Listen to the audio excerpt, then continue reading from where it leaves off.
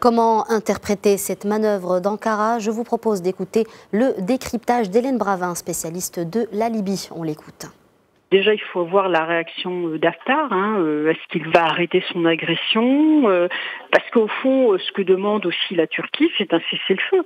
Elle veut amener probablement Haftar à un cessez-le-feu dans, les combats. Je pense que la Turquie est, je dire, est au stade des menaces. C'est des, des grosses menaces. Je pense pas qu'elle mette véritablement en exécution euh, l'application de cette motion. Ça serait trop trop grave. Euh, je veux dire, l'Égypte risque de s'en mêler. Euh, Emmanuel Macron, je pense, a fait le nécessaire auprès de l'Égypte pour essayer de tempérer les choses. Hein.